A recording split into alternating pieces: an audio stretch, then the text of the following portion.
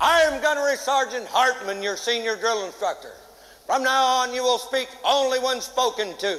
And the first and last words out of your filthy sewers will be, sir. Do you maggots understand that? Sir, yes, sir.